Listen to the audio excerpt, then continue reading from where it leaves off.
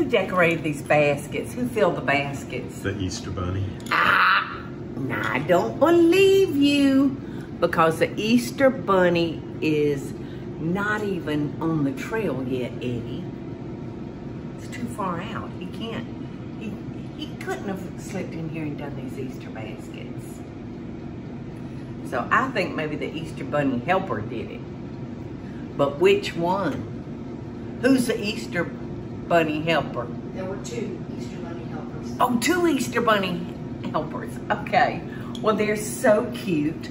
Uh, you know, I've shared with y'all on videos how, oh, look, so cute peeps. Little peeps. Oh, so cute. I love those little peeps.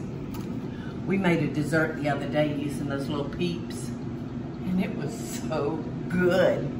Um, hopefully you can find that recipe somewhere on the video, on the, uh, that thing right there that Eddie's pointing at me. um, last year, I did not make Easter baskets for my grandchildren because COVID had just hit and nobody was going anywhere. So that was very sad. And now this Easter, now that we feel safe to get back with our immediate families, uh, all the Easter stuff, the Easter Bunny put it in storage. so I can't get to it.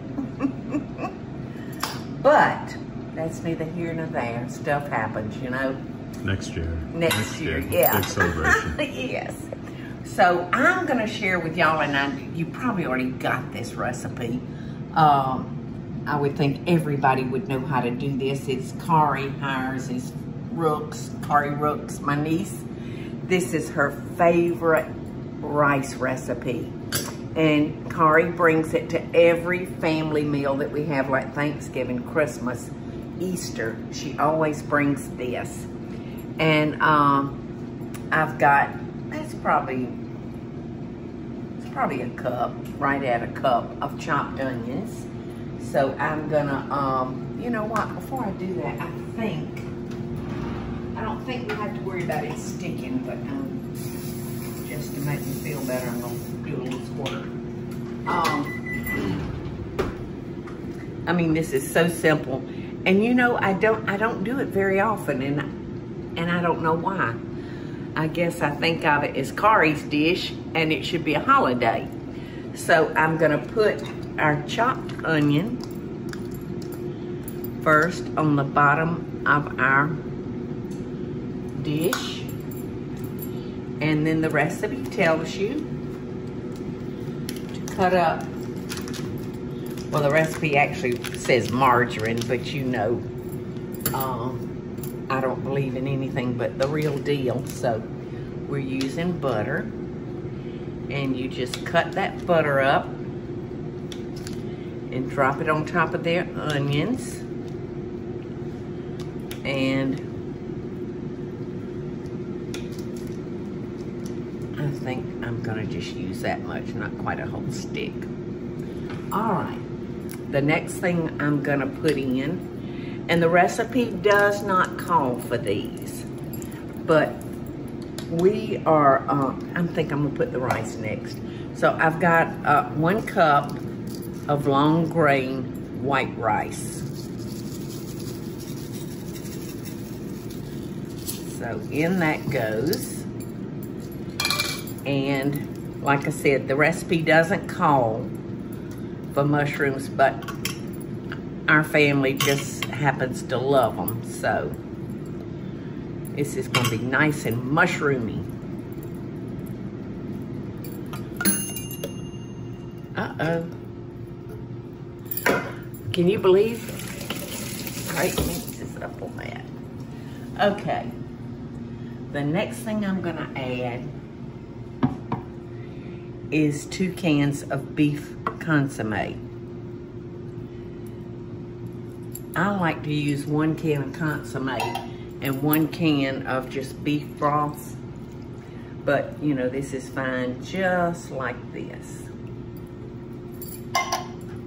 So you can actually, you know, if you use those wet bases, if you use those wet bases, uh, you could make your own beef broth. You wouldn't necessarily have to buy uh, cans of soup.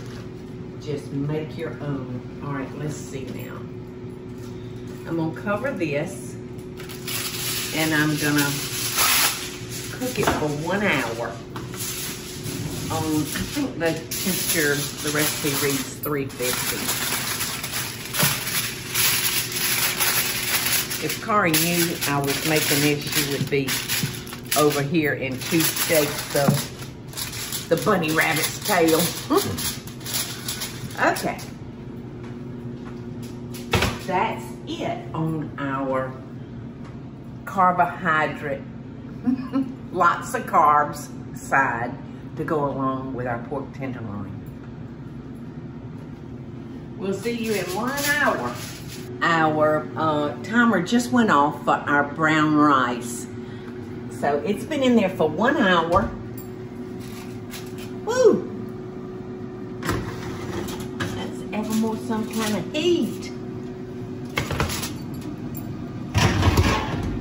This, I'm gonna cut this oven off.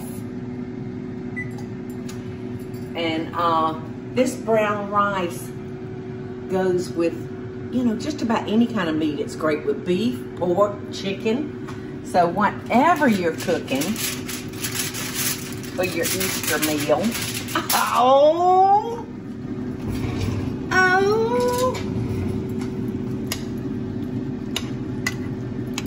That looks delicious, doesn't it? Yum, yum. Now I'm going to let it sit and let that rice keep soaking up that wonderful beef consomme. And um, this is a perfect side for no matter what you're cooking or um, shoot, you could add some more vegetables to, to that and have a, a one bowl meal, couldn't you? Yes, that's what I like.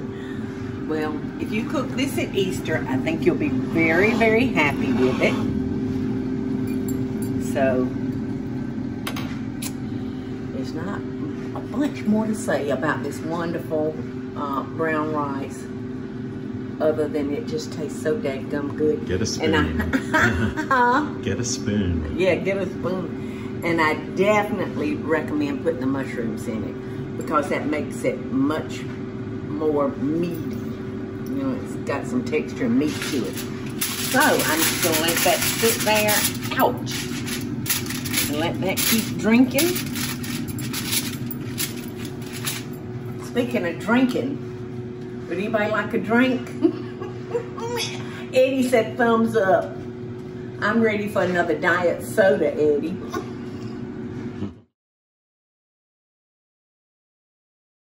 Y'all, it's Paula Deen. Now, if you enjoyed this video, be sure to like it and click the subscribe button as well as the notification bell to be alerted when I post a video.